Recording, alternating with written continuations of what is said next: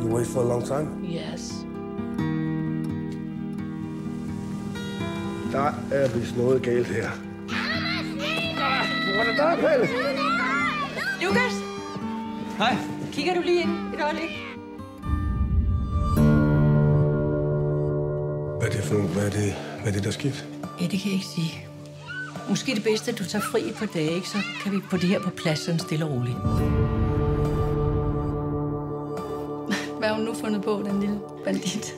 Vi har desværre anledning til at tro, at der er sket grænseoverskridende adfærd imod. Du skal ikke høre på, hvad de siger.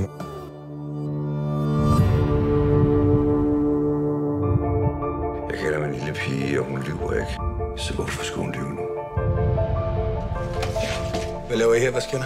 Hjem igen, Lukas. Du kan ikke få noget her. Jeg har ret til at købe ind her. Jeg kan godt gå og se. Det er min bedste vens datter, det ved du godt, ikke? Jeg tror på børnene, Lukas. Det har jeg altid gjort. Hvis du rører ved min lille datter, Sindssygt eller hvad? så får du en kugle lige i panden. You are not a sick person, are you?